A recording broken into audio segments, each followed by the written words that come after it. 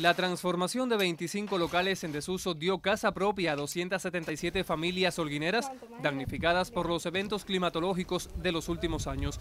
La inversión extenderá el beneficio hasta cumplir con lo pactado para 2018. La provincia tiene un plan de 986 viviendas a terminar este año. De ellas 603 viviendas eh, netamente son con destinos afectados climatológicos de eventos anteriores.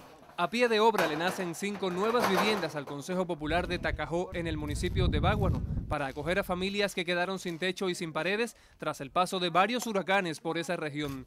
Trabajadores de la ECOP en el territorio acercan la producción local de materiales para la construcción al escenario donde se edifican los locales como alternativa eficaz para el ahorro de recursos al país. Vamos cumpliendo con las losas para techo, las losas canal, Estamos, como el país ha, dejado, ha tenido que dejar de invertir en la compra de tanques, estamos también en tanques para damnificados, para afectaciones. estamos haciendo eh, mesetas eh, con hueco, mesetas sin hueco. Estamos haciendo bloques, hemos sobrecumplido los bloques, estamos a 145%.